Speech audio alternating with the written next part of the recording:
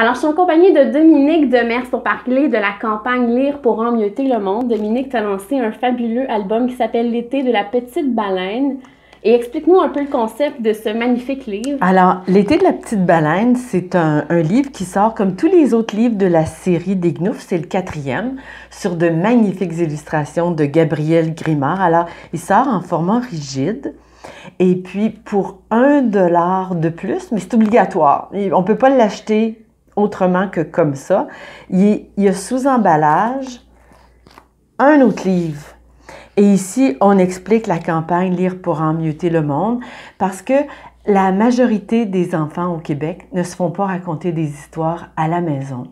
Et puis on s'est dit, qu'est-ce qu'on pourrait faire pour changer ça? Bien, si tous les enfants avaient un livre à la maison qui, qui est vraiment donné directement aux familles pas nécessairement par le biais de l'école, parce que parfois on scolarise la lecture, c'est normal, mais il faut que ça commence dans les familles, il faut que ça commence là. Les enfants devraient s'être fait raconter mille histoires avant de rentrer à l'école.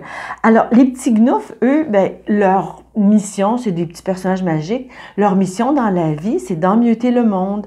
Alors, l'été de la petite baleine, ben, il vient en deux livres. Alors, on en garde un et on donne l'autre.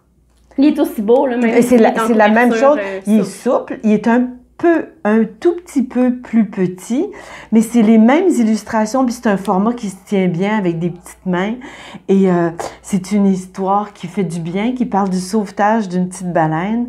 Et puis en même temps, ben, on espère changer le monde, l'emmieter en créant plus de lecteurs. Et ce qu'il faut dire aux gens, c'est que lors de la fête des librairies du Québec, vous allez pouvoir vous procurer cet album-là pour seulement 1 le samedi et le dimanche. Alors, on vous invite en début juin, dans toutes les librairies indépendantes du Québec, pendant deux jours, à 1 C'était une façon de, de, le donner, mais avec un petit ticket euh, pour que chacun sente qu'il contribue quelque chose. Merci, Dominique. Ça fait plaisir.